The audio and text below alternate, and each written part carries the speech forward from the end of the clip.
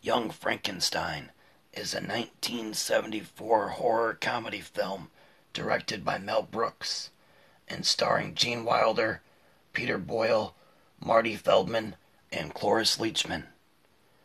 It was made on a budget of just under $3 million and took in over $86 million at the box office.